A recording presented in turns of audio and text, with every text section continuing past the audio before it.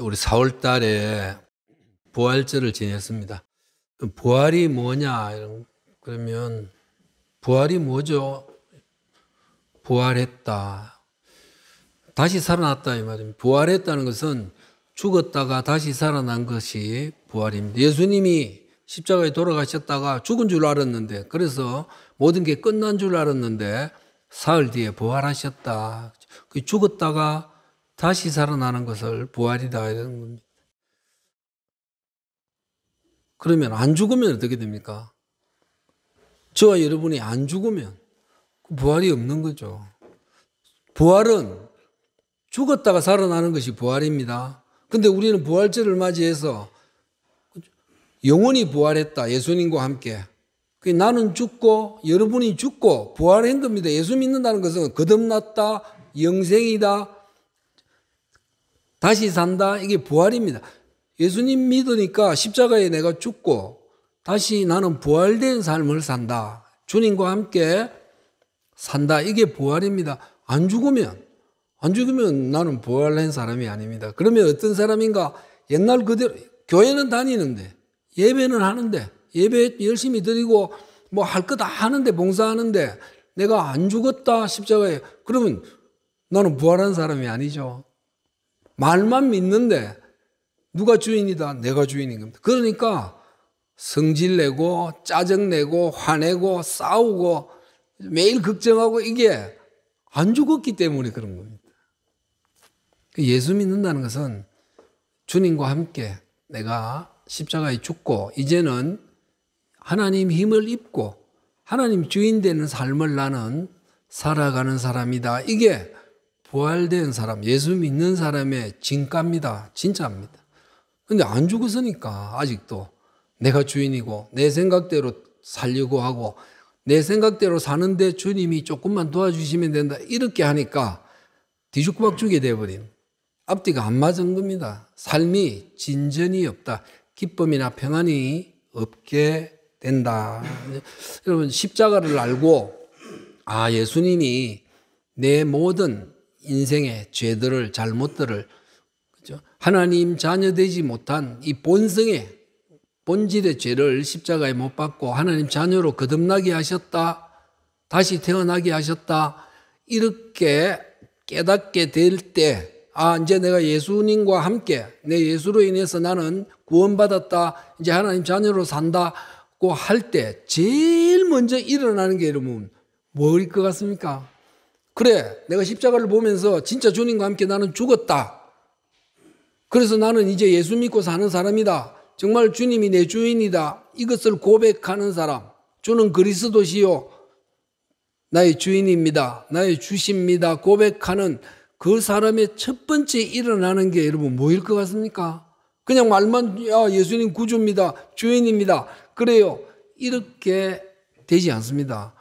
그것이 진짜 고백되는 사람의 첫 번째는 회개를 하는 겁니다. 내 삶을 되돌아보면서 정말 아, 주님 없이 사는 내 인생의 모든 것들이 다 엉망이었다.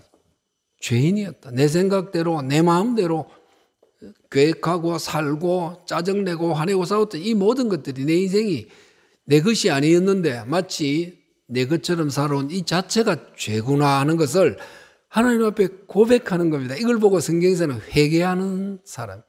그 역대에 우리나라의 부흥도 그렇습니다. 모든 개개인의 사람들도 진정한 회개가 하나님 앞에 이루어지고 나면 주님 앞에 이루어지고 나면 그 사람이 변화가 빨라지는 겁니다.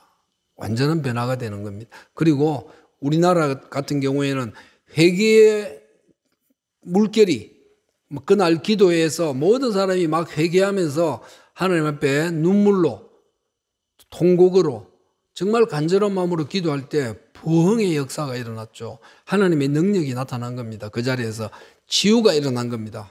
병이 낫고 그죠? 자기의 과거가 모든 것이 끝나면서 하나님의 능력이 그때부터 막 일어나기 시작했던 겁니다. 그것은 역사에 있는 게 아니고 우리 개개인에도 똑같이 일어나는 것이다. 왜냐하면 내가 회개하고 하나님 주인 되게끔 삶을 살겠다 고백할 때 하나님이 살고 가시니까 보이는 것마다 능력이 되죠. 기적이 되죠. 이게 우리 예수 믿는 사람의 삶인데 안 죽으니까 문제다. 마음은 죽어야지 하는데 십자가에 진짜 못 박지를 못하는 이것이 우리들의 제일 난감한, 난감한 문제가 아닌가. 아무리 발부둥 살아봐도 재미없습니다. 그렇게 되면 여러분 생각이 어떻게 다른가? 예수 믿는 진짜 믿는 사람과 안 믿는 사람 여러분이 잘 생각해 보세요. 어떤 여학생이 몸집이 되게 큽니다. 몸집이 되게 커요. 근데 이 친구가 장애가 있어서 누군가는 부축을 해야 학교를 데리고 가야 되는 겁니다. 버스 정류장까지 데리고 와서 버스를 태우고 다시 내리면 부축을 해야 갈 수 있는 그런 불편한 몸이었습니다. 그 한 친구가 아주 절실한 친구가 매일 도와주는 겁니다. 그 오빠도 같은 학교에 대학에 다니기 때문에 오빠도 도우고 있습니다. 똑같이 오빠도 도우고 또 옆집에 사는 남자친구도 도우는 겁니다. 근데 너무 무거워, 몸집이. 그래서 업고 가거나 부축을 하거나 이러면 너무 힘들어요. 버스에 오르락 내리락 또 학교까지 데리고 가는 게 너무 힘들어요. 오빠의 생각입니다. 하, 진짜 이 애만 없으면 좋겠다. 힘들어 죽겠다. 제발 내팽거 치고 싶은 겁니다. 이게 보통 사람의 생각입니다. 세상 사람의 생각입니다. 도우기는 도우는데 때때로 짜증이 나는 겁니다. 이 무거운 게 이걸 내가 언제 끝내나? 아, 얘만 없으면 좋겠다. 끝내고 싶다. 언제 끝나나? 이런 생각입니다. 근데 또 다른 한 친구는, 교회 다니는 친구는, 야, 이 친구 진짜 무겁다. 이 친구를 내가 계속해서 부축을 하고 도우려고 하면 내가 정말로 체력을 보강해야 되겠다. 열심히 운동해야 되겠다. 그래서 얘가 스스로 뭔가 자기 삶을 찾을 때까지는 나는 이 친구를 도와야 되겠다. 이렇게 생각하는 겁니다. 똑같은 상황을 두고 정말로 예수님이 주인 되는 삶의 생각과 그냥 오빠인데도 불구하고 매일매일 자기가 불편한 것을 힘든 것을 겪는 사람의 이 생각의 차이는 엄청난 겁니다. 예수 믿는 사람의 생각이 바로 그런 친구의 생각이 되어야 되는데 아 나는 어떤 생각으로 사는가 정말 주님의 마음으로 주님 말씀하신 내 이웃을 네 몸처럼 사랑해라. 이것이 내 안에 늘 잠재하고 그렇게 나타내면서 살려고 하느냐 우리 곰곰이 한번 생각해 봐야. 여러분 기도를 합니다. 어떻게 기도합니까? 하나님 나에게 복 주시고 우리 자녀에게 복 주시고 교회도 복 주시고 이 나라에도 복 주시고 건강하게 해 주시고 또 하여튼 일도 잘 되게 해 주시고 이렇게 우리가 기도하는 사람이 참 많습니다. 그래 할 수 있죠. 처음에는 하나님 뭐 잘 모르니까 하나님을 점점 알아가게, 알아, 알아가게 되면 기도가 달라지겠죠. 여러분 예를 들어서 이런 겁니다. 우리 아이가 어릴 때 어릴 때 아빠 사랑해 주세요. 엄마 나 좀 사랑해 주세요. 나를 좀 기억해 주세요. 아빠 좋은 거 좀 사주세요. 아빠 나를 잊지 마세요. 매일 그렇게 기도한다면은 부모가 어떻게 했습니까? 아니, 우리 자녀들이 엄마, 나 좋아해 주세요. 나 사랑하죠, 사랑해 주세요. 나 잊지 마세요. 내한테 매일매일 좋은 거 사주세요. 매일 기도한다고 우리가 생각 한번 해봅시다. 엄마한테 매일 부탁한다고 생각. 부모가 뭐라, 이 자식은요, 부모를 뭐로 하나 안 그러겠습니까? 아니, 부모가 매일 해주는데도 매일 아빠, 엄마, 이거 해달라, 저거 해달라, 이게 필요하고, 나를 사랑하지요, 나를 기억하지요. 이렇게 한다면은 부모가 어떻게 했습니까, 여러분? 우리 기도가 보통 사람의 기도가 이러고 있지 않나 하나님 앞에. 하나님 다 아시는다고 아는데 모든 것을 내 삶의 모든 것을 아신다고 아는데 이거 주세요, 저거 주세요, 저거 주세요. 여러분 성경은 그래서 예수님이 먼저 먹을 거, 너 사는 거 걱정하지 말고 아버지가 너에게 무엇을 원하는지 먼저 그의 나라와 하나님이 꿈꾸고자 하는 이 세상, 하나님이 무엇을 원하는지 그 의를, 그 뜻을 먼저 구하는 게 먼저다. 그리하면 네 삶에 대해서는 내가 다 책임질게, 더 많이 줄게 이렇게 이야기합니다. 우리가 이 말씀을 압니다. 중요한 예수님의 말씀입니다. 먹을 거 입을 거 걱정하지 마라. 먼저 하나님의 뜻이 무엇인지를 네가 알고 살아라 이렇게 합니다. 그렇게 하는데 우리는 하나님 말씀은 하나도 몰라. 하나님 그러니까 내 하나님 뜻이 무엇인지도 몰라. 그러니까 매일 하나님 좋은 거 주세요. 이것도 필요하고요. 저것도 필요하고요. 매일 부모님한테 아이들이 매일 하는 거하고 똑같이 하고 있다. 내 삶이 말씀 속에 하나 예수님 말씀하시는 하나님 말씀하시는 그 말씀에서 기준을 두고 아 정말 내 삶에서 하나님이 이런 갈등 아 요거 조금만 내가 저 사람이 외면하면 내가 조금만 속이면 내가 조금만 여기서 빠져버리면 내가 편한데 내가 이익인데 아니지 그래도 내가 예수 믿는데 그래도 내가 좀 힘들어도 참여해야지 아니면 내가 좀 손해보고 정직해야지 하는 갈등들이 늘 있습니다. 여러분, 아버지가 뭘 원하는지를 늘 내 속에 가지고 아버지의 뜻대로 살아가면 더하여 주신다. 지금 당장 손해 같은데, 지금 당장 기분 나쁜 것 같은데, 말씀대로 사랑하고 이해하고 배려하고 내가 조금 손해봐도 정직하게 하면 더하여 주시는 하나님이 내 안에 계신다. 내 주인이시다. 이거를 두고 우리가 매일 고민하고 기도해야 되는 겁니다. 하나님, 정말로 그런 갈등이 생길 때 하나님 뜻이 무엇인지를 분명히 알게 해주세요. 정말 내가 하나님 자녀로서 이 세상에 하나님 나라를 만드는데 일조가 되는, 도움이 되는 사람이 되게 해주세요. 이게 기도가, 진짜 기도가 되어야 되는데 매일 아빠 돈 주세요. 아빠 좋은 거 주세요. 아빠 이게 필요. 자기 삶은 하나님하고 아무 상관없고, 아, 이러면 좀 곤란 안 하겠습니까? 아, 우리 자녀가 여러분의 자녀가 자기 마음대로 살면서 오락실 가고 친구들하고 술 먹고 노름하고 이러면서 아빠 좋은 거 주세요. 아빠 이거 주세요. 저거 주세요. 이런다면 여러분 기가 찰 거 아닙니까? 내가 내 삶은 하나님하고 전혀 다르게 와내 막 필요한 것에 내 좋은 것에 다 쓰고 하나님 또 필요 이러면 부모가 어떻게 했습니까? 여러분 똑같은 이치 하나님 내 아버지인데 우리가 이것을 알고 기억하면서 기도하면 좋겠다. 내 삶이 정말 하나님이 마음껏 주셔도 더하여 주신 만큼 그죠? 하나님이 원하는 그것을 내가 구하고 그렇게 살고 있는가부터 우리가 한번 점검해 보면 참 좋겠다. 예수님 분명히 그럽니다. 무엇을 먹을까, 무엇을 입을까 걱정하지 말고 하나님의 인도하심을 너가 진짜 받고 있느냐 안 받고 있느냐. 하나님의 뜻을 네가 알고 그 삶에서 결정을 바르게 하고 있느냐 안 하느냐를 우리가 고민할 수 있어야 된다 이 말입니다. 그렇게 살게 해주세요. 기도할 수 있어야 그 다음에는 하나님이 밀어주신다. 이렇게 우리 삶에서 분명히 알면 좋겠습니다. 노아, 노아의 방주 우리 알죠? 창세기에 나오는 세상이 다 지금 썩어 들어갑니다. 세상이 다 엉망이 되어 갑니다. 지만 잘났다 먹고 사는데 오직 미쳐 돌아갑니다. 그때 하나님이 세상을 보니까 참 기가 찬 겁니다. 각자 자기 마음대로 자기만 알고 살아가는 겁니다. 그러니까 노아를 불러서 노아 그, 그 중에 보니까 그래도 좀 착하고 정직하고 마음이 좋은 사람이니까 노아야 세상 도저히가 안 되겠다. 이대로 가서는 안 되겠다. 내가 세상을 홍수로 망하게 할 거니까 너는 내 말을 듣고 배를 큰 배를 하나 만들어라. 이게 우리 노아의 방주입니다. 방주죠. 만들어라.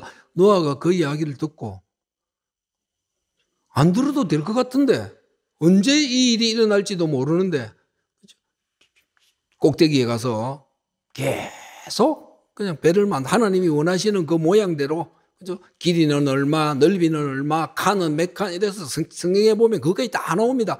그 말씀대로 하나님 지시한 대로 계속 만들 겁니다. 세상 사람들은요, 저 자식 저거 벌건 대낮에 저기 미친놈 아니냐.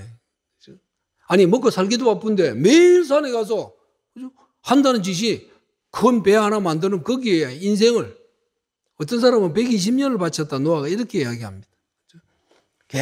세상 사람들은 다 아니 교회 다닌다고 너 예배 드린다 기도한다고 근데 이거 뭐가 다른데 그 안 다녀도 돼. 다 그럴 때 노아는 하나님 말씀대로만 사는 겁니다. 사람들이 미쳤다. 다 먹고 산다고 경쟁하고 바쁠 때 노아는 하나님 말씀은 내가 지켜야 된다 하고 끝까지 갔습니다. 이 일이 언제 일어날지도 모르고 하나님 말씀이니까 하고 끝까지 기도하면서 배를 만들었습니다. 결국은요. 비웃고 웃음거리, 먹고 산다고 날뛰던 잘 살아보려고 하던 사람들, 하나님 말씀 무시하고 비웃던 사람들 어떻게 해요? 다 멸망하는 겁니다. 이런 끈기가, 이런 하나님의 말씀을 붙들고 살아가는 어떤 의지가 있어야 되는데, 우리가 약하다는 겁니다. 약하다. 조금만 안 되면 그냥, 에이, 뭐, 다녀봐야 소용없, 기도해봐야 소용없다. 이렇게 그 성경 이야기가 고린도 전서 한번 보겠습니다. 신약 성경 고린도 전서 1장입니다. 264페이지 고린도 전서 1장 26절에서 29절까지입니다. 고린도가 예수 믿는 사람, 원래 예수 안 믿는 사람, 또 다른 종교 믿는 사람, 이게 너무 복잡한 지금 우리나라 같은 세상 같은 이런 형편이었습니다. 이런 상황이었습니다. 그러니까 각자 먹고 사는데 바쁘고 다른 종교 뭐 여러 종교들 네가 옳다 내가 옳다 하고 막 이럴 때 고린도를 향한 하나님의 말씀이 바울을, 바울을 통해서 이렇게 나타나는 겁니다. 26절에서 29절입니다. 형제들아 너희를 부르심을 보라. 육체를 따라 지혜로운 자가 많지 아니하며 능한 자가 많지 아니하며 문벌 좋은 자가 많지 아니하도다.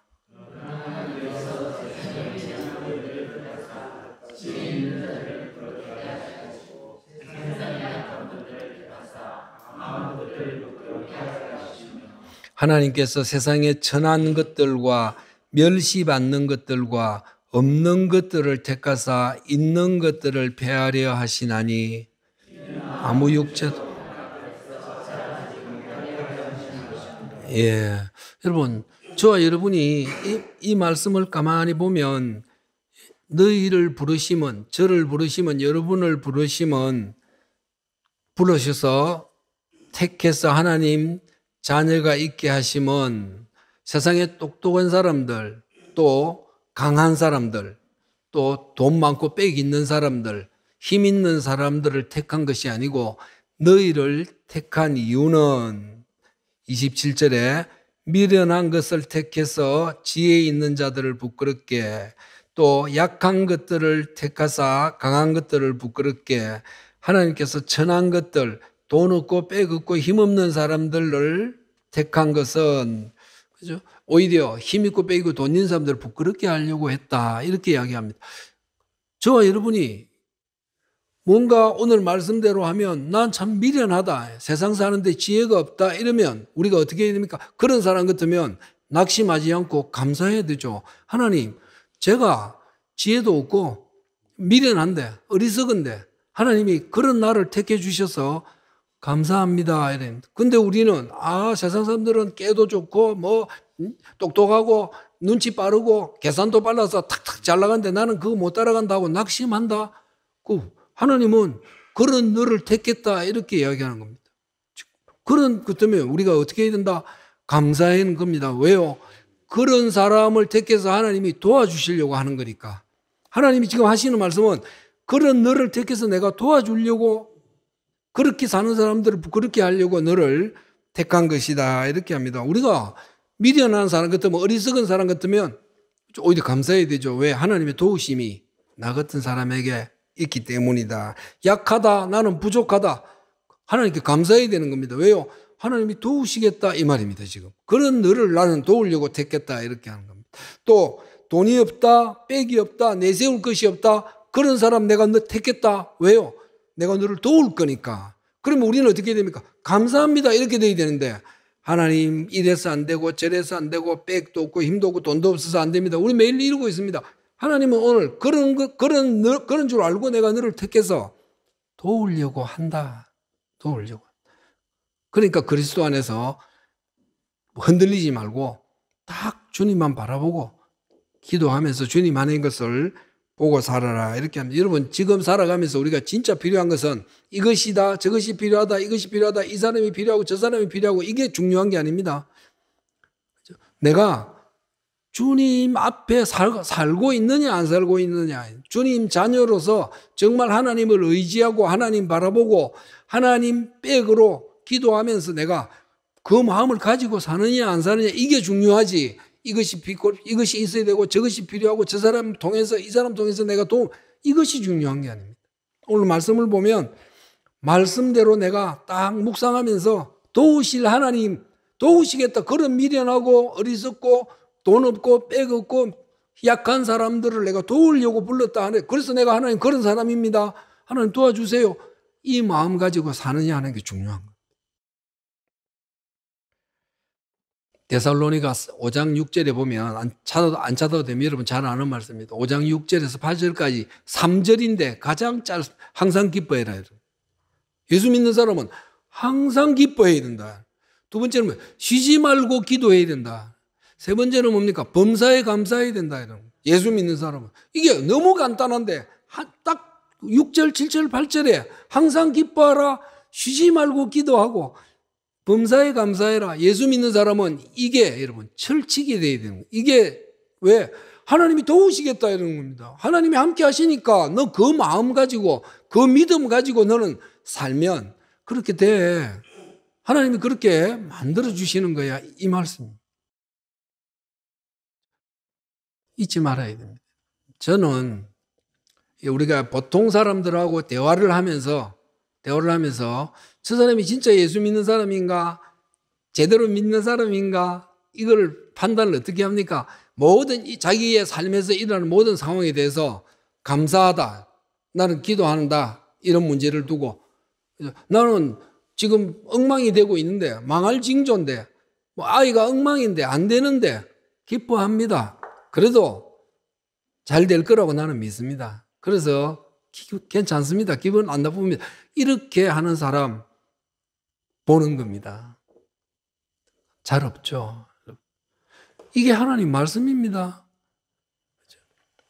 제일 중요한 계명이 뭐요? 이렇게 물어보니까 제일 중요한 계명이 뭐요? 구약에도 있고 신약에 어느 친구가 율법학자가 아니 나 성경 많이 아는데 그 성경 중 하나님 말씀 중에 제일 중요한 게 뭐예요? 그러니까 예수님이 뭐라 그럽니까? 네 마음, 네 목숨, 네 힘을 다해, 네 뜻을 다해서 하나님을 사랑하고 또 내 이웃을 네 자신처럼 사랑해라. 이것이 첫째 계명이다. 이렇게 첫째 계명은 내 힘, 내 마음, 내 목숨을, 내 생명을 걸고 하나님 사랑하는 것이 먼저고 똑같이 이웃을 네가 사랑하는 것처럼, 네를 중시 여기는 것처럼 그렇게 대하는 것이 첫째 계명이다. 이렇게 하는 겁니다. 여러분, 이것을 가진 사람, 이, 이 말씀을 가지고 나는 살아야지. 그래, 내가 하나님, 그러면 하나님 매일 찾겠죠. 사랑하는 사람 매일 찾듯이 하나님 매일 찾고, 이웃에 대해서도 어떤 문제든지 자기를 내려놓고 가까이 가려고 하겠죠. 도우려고 하겠죠. 항상 감사하고 기뻐하고 쉬지 말고 기도하는 사람. 우리가 이것만 알아도 삶에서 나타나는 겁니다. 하나님이 나타나게 하신다 이 말씀을 가지고 그렇게 살려고 하면 하나님이 그렇게 보여주신다. 약속입니다. 이건 하나님의 약속입니다. 여러분 다시 야고보스로 한번 가보겠습니다. 저 뒤쪽입니다. 1장입니다. 신약 성경 370페이지. 370페이지 야고보서 1장 5절에서 8절입니다. 야고보서 370페이지 1장 5절에서 8절입니다.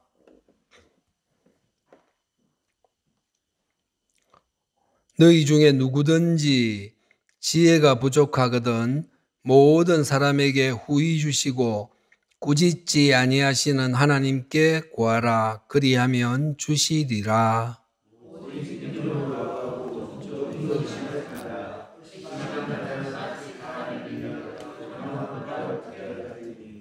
이런 사람은 무엇이든지 죽게 얻기를 생각하지 말라. 예. 1절에서 4절까지는 여러 가지 시험이 오거든, 문제가 오거든, 너가 걱정이 되거든, 두려워하는 문제가 오거든, 시험을 당하거든, 온전히 기쁘게 여기라. 여러분, 이게 되겠습니까? 아니, 지금 당장에 돈이 없는데 그래서 아이들한테 마음대로 해주지도 못하는데 내 먹을 떼거리도 없고 직장도 안 되고 여러 가지 안 되는데 이걸 온전히 기쁘게 여기라 이렇게 합니다. 이게 이게 그런데 하나님이 나와 함께 하신다는 겁니다. 이 문제도 하나님이 알고 계시고 하나님이 길을 여실 것이다 믿는 사람은 그래 하나님 계시니까 하나님 이런 문제도 내가 이겨내겠습니다. 감사합니다. 하나님이 이 어려움 속에서도 내가 하나님 함께 하셔서 고맙습니다. 그렇게 할, 그렇게 해라 이 말입니다. 그러면서 이전에는 3절에는 아, 이는 너희 믿음의 시련이 인내를 만들어내는 줄 너희가 알게 된다. 인내를 온전히 이루라. 이는 너희로 온전하고 완전하고 준비해서 조금도 부족한 여러분 어려움이 오면 이게 무슨 말입니까? 어려움이 오면 믿음으로 끝까지 하나님 바라보고 가라 이 말이에요. 한 번, 두 번 하다가 기도 좀 하다가 에이 때려 재워라 나는 막 이거 해도 응답도 없고 안 된다 하는 그 믿음 그런 믿음 가지지 말고 문제가 올 때마다 끝까지 하나님 붙들고 믿음 하나 너는 믿음 하나 가지고 산다. 나는 돈도 없고 백도 없고 아무것도 없지만 나는 예수님이 있는데 하는 그 믿음을 네가 기르기 위해서 그것을 꽉 채우기 위해서 강하게 하기 위해서 오히려 문제가 오면 기뻐해라 이렇게 하는 겁니다. 문제가 오면 십자가를 바라보지 문제를 보지 마라. 왜? 그래야 그걸 당할 때마다 너가 그렇게 되면 너는 완전한 믿음을 가진 사람이 된다. 하나님이 그걸 만들기 위해서 문제를 준다? 그러면 그 문제 볼 때마다 기도하는 사람이 되어야 된다. 지금 그 이야기 하는 겁니다. 근데 우리는 이게 마음에 들지 않습니다. 몇 번 하다가 안 되면 뭐 하나만 한데 뭐 이렇게 되어버리는 조금도 부족함이 없는 하나님의 자녀로 살게 하기 위해서 문제가 오거든. 그거 보지 말고 오히려 감사해라. 도우실 하나님이 있다. 아까 우리 그죠? 앞에 고린도전서에 봤던 약하고 미련하고 돈 없는 너를 택해서 내가 도우려고 했으니까 또 문제가 오면 문제가 있을 것이다. 매일 오면 기뻐해라. 하나님 바라보면서 감사해라. 또 도우실 하나님이 있다. 이렇게 그러면서 너희 중에 누구든지 지혜가 부족하거든 모든 사람에게 후히 주시고 꾸짖지 아니하시는 하나님께 구해라. 잘 안 풀리거든 이 말이죠. 사방이 꽉 막혀서 이거 답도 없고 해결도 안 될 것 같고 이렇게 되면 뭐요? 너가 살다가 안 되는 거 있으면 부족한 거 있으면 안 풀리고 사방이 꽉 막히면 어떻게 합니까? 하나님 풀 수가 없습니다. 해결할 수가 없습니다. 지혜가 부족하거든. 해결할 방법이 없습니다 하면 하나님께 구하라. 이렇게 이야기합니다. 하나님께 구해야 된다. 하나님, 이 도대체 이런 시련 속에서 내가 하나님 뜻이 무엇인지도 모르겠습니다. 하나님 좀 가르쳐 주세요. 이것을 내가 왜 겪어야 되고, 뭐 때문에 이런 일이 일어나는지 하나님 좀 알게 해주세요. 지혜가 부족하니까, 모르니까. 그리고 하나님 좀 도와주세요. 이렇게 기도해라. 이런 하나님, 이 문제 어떻게 하든지 빨리 해결해 주시고, 이걸 끝내 주시고, 건강하게 해주시고, 이렇게 말고, 이 문제 속에서 하나님이 왜 이 문제를 주셨고, 또 하나님이 어떻게 이걸 푸시나, 구해봐라 이렇게 하는 겁니다. 구해봐라. 한번 물어봐라. 꾸짖지 아니하시는 하나님이 그렇게 야너왜 거지 됐으니까 너 임마 그렇게 하니까 그렇지 이렇게 아니하신다 이 말이죠. 우리가 당하고 있는 많은 문제들을 하나님 다 아시고 물어볼 때 그렇게 물어볼 때 꾸짖지 아니하시는 하나님이 주신다. 그리하면 주신다. 모든 사람에게 후히 주시고 꾸짖지 아니하시는 하나님께 구하면 하나님이 주실 것이다. 이렇게 이야기합니다. 하나님 참 난감합니다. 나갈 문이 없습니다, 지금. 못 찾겠습니다. 하나님 제발 좀 길을 가르쳐 주십시오. 나갈 문을 좀 열어 주십시오. 이렇게 구해봐라 이 말이죠. 그러면 하나님이 나갈 길로 인도해 주신다. 그리하면 주시리라. 이렇게 이야기합니다. 근데 우리는 우리의 생각의 문으로 나가려고 온갖 머리를 돌리는 겁니다. 온갖 일을 벌리는 겁니다. 보통 사람이. 보통 세상 사람들은 뭐, 무슨 문제가 오거나 길이 안 열리면 어떤 방법으로든지 자기 생각으로 열려고 하는 겁니다. 자기 힘으로 열려고 하고 또 사람의 도움으로 이거를 해결하려고 합니다. 그러다가 어떻게 됩니까? 이리 부닥치고 저리 부닥치고 사람한테 배신당하고 사람한테 욕 먹고 이게 우리 다반사입니다. 오늘 그것을 두고 하나님이 이야기하시는 내한테 문을 열게 달라고 그러면 내가 열릴 문을 너에게 보여줄 것이다. 후히 주시고 꾸짖지 아니하시는 하나님께 구하면 그리 그리하면 주시리라 이렇게 이야기합니다. 6절 오직 믿음으로 구하고 조금도 의심하지 마라. 의심하는 자는 마치 바람에 요동. 여러분 이게 뭐 그러니까 이 문제가 열릴 때까지 흔들리지 말아야 돼요. 끝까지 기도하는 사람이 된 도와주세요. 인도해 주세요. 하나님 보고 싶습니다. 길을 보여주세요. 이렇게 하면 하나님이 끝까지 그 붙들고 있는 믿음 보시고 알게 하고 보여주신다. 여러분 믿지 않으면 뭐요? 이거 끝까지 믿음을 안 가지면 어떻게 됩니까? 오늘 이 말씀대로 오직 믿음으로 안 구하고 흔들리면 어떻게 됩니까? 안 보인다 이 말이죠. 길이 안 열린다 이 말하고 똑같은 우리가 흔들릴 때가 참 많습니다. 만약에 100% 자녀가 아버지 이 문제, 이 숙제, 내가 갖고 싶은 이, 이 물건, 하나 아버지가 100% 해줄 것을 믿습니다. 이랬습니다. 우리 아이가, 아버지, 그래요. 언제? 아버지가 사주시는 날, 언젠가는 모르겠지만, 나는 아버지가 사주실 거라고, 이 문제를 해결해 주실 거라고, 아버지가 저 아이에 대해서 관계를 회복시켜 주실 거라고, 아버지 100% 나는 믿습니다. 우리 아이가 그러는데, 100% 믿고 있는데 부모가, 아이고, 믿거나 말거나, 안 되죠. 그런 부모가 어디 있겠습니까? 아이가 100% 믿고 있는데 아버지가 엄마가 해주신다는 걸 100% 믿고 있으면 부모는 당연히 더 해주고 싶죠. 200% 해주고 싶습니다. 똑같은 이야기 하나님이 하시는 겁니다. 네가 흔들리지 않고 하나님을 믿고 있으면 흔들리지 마라. 잘 흔들린다 이 말이죠. 바람의 이는 그죠? 풍랑 풍랑의 배 같다. 많은 사람이 그렇게 하더라 이 말입니다. 흔들리지 마라. 기도합시다. 이렇게 하잖아요. 기도합시다. 이러면 어떤 사람은 그래. 오늘 말씀대로 흔들리지 않고 오직 믿음으로 끝까지 하나님 100% 하나님은 내 기도를 하시고 길이 열린다. 이걸 가지고 그래. 계속 기도해야지. 내가 30분이든 1시간이든 5분이든 나는 기도하고 살 거야. 이런 사람이 있습니다. 이제 기도합시다. 이러면 근데 어떤 사람은 기도할 자리가 없다.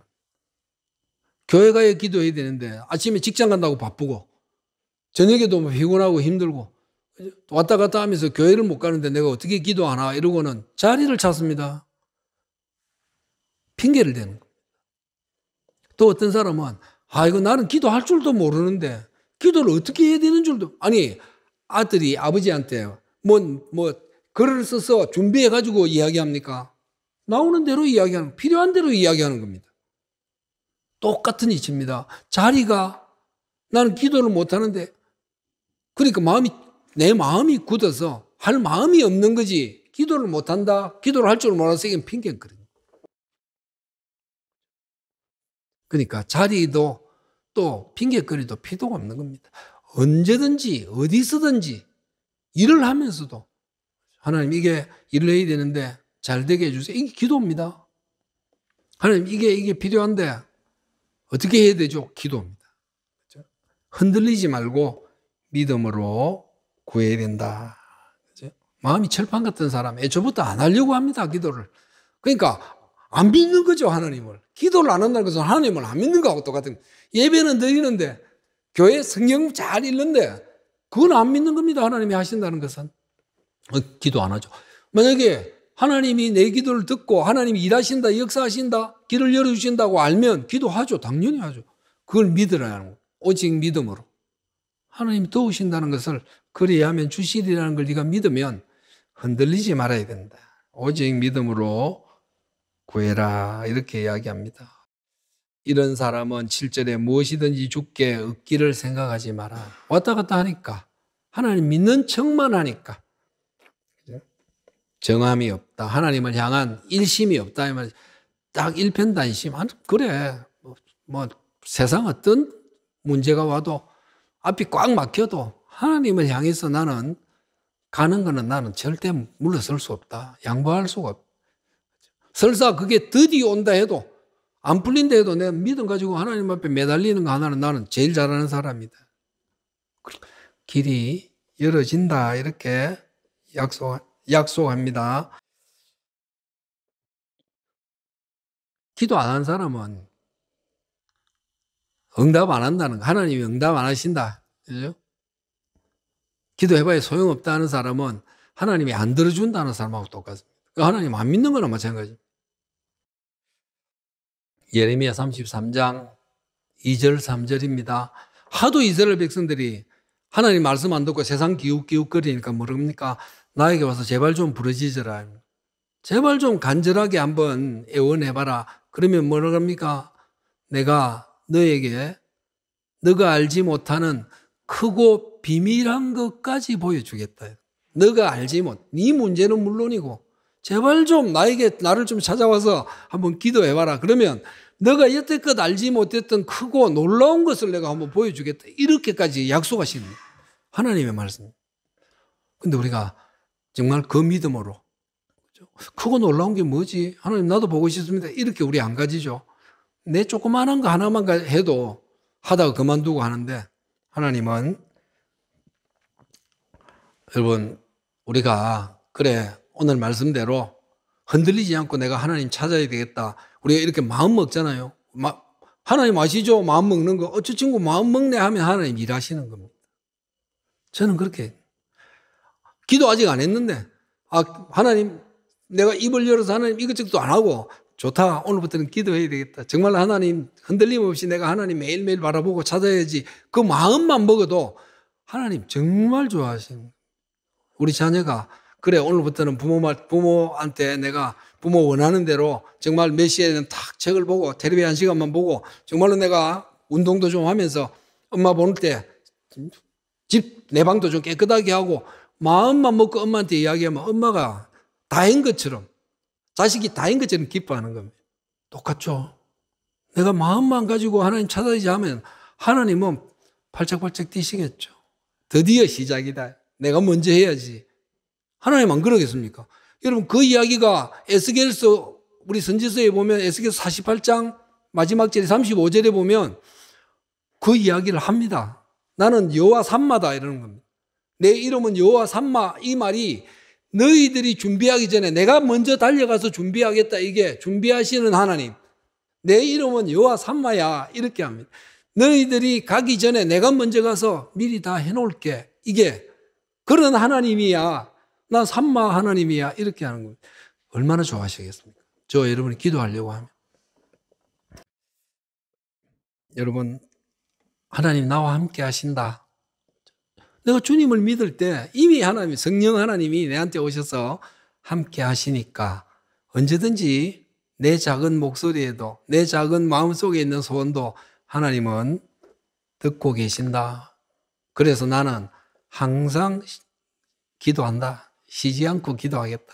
어떤 문제가 있어도 하나님이 계시니까 낭망하지 않고 여러분 짜증내지 않고 기뻐한다는 겁니다. 그래 이 문제 오직 강한 믿음을 만들려고 하나님 주셨으니까 해결은 하나님이 하시고 나는 기뻐해야지. 이렇게 돼야 돼. 범사에 감사해야지. 왜요? 약하니까, 돈 없으니까, 힘 없으니까, 문제가 안 풀리니까. 감사한 겁니다. 왜요? 하나님이 하실 거니까 이게 믿어야 돼. 그걸 믿으라 그러는 거 그래서 감사할 수 있는 사람이 좀 돼봐라. 이렇게 합니다. 여러분, 우리가 도움이 필요하면, 믿음이 약하면 믿음 달라고 기도하는 겁니다. 성령 하나님 좀 강한 믿음 가지게. 오늘 온전한 믿음 했습니다. 온전히 믿음 가질 때까지 시험 오거든. 하나님 바라봐라. 하나님께 기도해라. 이럽니다. 여러분, 도우신 하나님을 우리가 믿어봅시다. 정말 오늘 말씀에 그죠? 꾸짖지 아니하시고 후히 주시는 하나님, 오직 믿음으로 우리가 하나님 바라보면 이 믿음, 이 말씀 가지고 하나님께 구할 때 놀라운 은혜가 임하는 여러분 되시기를 축원합니다. 네. 하나님, 오늘 또 말씀을 통해서 우리 자신들을 돌아봅니다. 정말 짧은 말씀이지만 내가 쉬지 않고 하나님을 찾고 사는지 또 닥쳐오는 많은 인생의 문제들마다 내가 감사하고 기뻐하고 있는지 하나님을 모시고 사는 자녀의 믿음, 자녀의 마음이 바로 이렇게 되어야 된다 말씀하십니다. 그런 마음, 그런 믿음 가지고 있으면 후히 주시고 도우시고 여시는 하나님을 볼 수 있다 하십니다.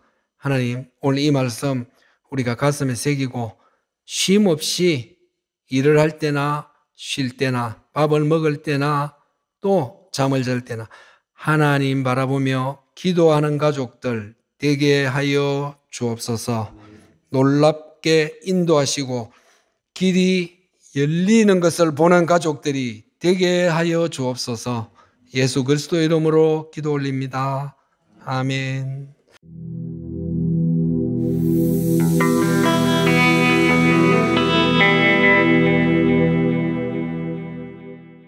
하나님, 우리를 미련하고 어리석은 사람으로 또 약하고 부족한 사람으로 또 돈 없고 빽 없고 내세울 것 없는 사람으로 그래서 하나님을 알고 하나님께 도움을 구하는 사람으로 살게 해주셔서 감사합니다. 오늘 말씀 어떤 벽이 쌓여 있어도 어떤 문제가 다가와도 오직 믿음 하나로 도우시는 하나님께 기도하라고 하나님을 찾으라고 하나님을 바라보고 의지하라고 하시는 말씀을 가슴에 새깁니다. 흔들리지 않고 늘 하나님 함께 하심에 감사하고 기뻐하면서 쉬지 않고 기도하는 가족들 되게 해 주옵소서. 반드시 우리 삶의 문제에 간섭하시고 인도하시고 해결하신다는 그 믿음으로 하나님을 의지하는 가족들 삼아 주옵소서. 놀랍게 역사하시고 인도하시고 보여주시는 하나님이신 줄 믿습니다. 이 가족들 위해 하나님의 놀라운 은혜가 임할 수 있도록 우리 마음을 붙잡아, 붙잡아 주시고 하나님께 쉬지 않고 기도하는 가족들로 삼아 주옵소서 오늘 말씀 붙들고 기도하기를 원하는 사랑하는 가족들 위해 자녀들 위해 가정들 위해 예수 그리스도의 십자가 사랑과 하나님의 놀라우신 은혜와 성령님의 열어주시고 도와주심이 영원토록 함께 해주시기를 간절히 축원하옵나이다. 아멘.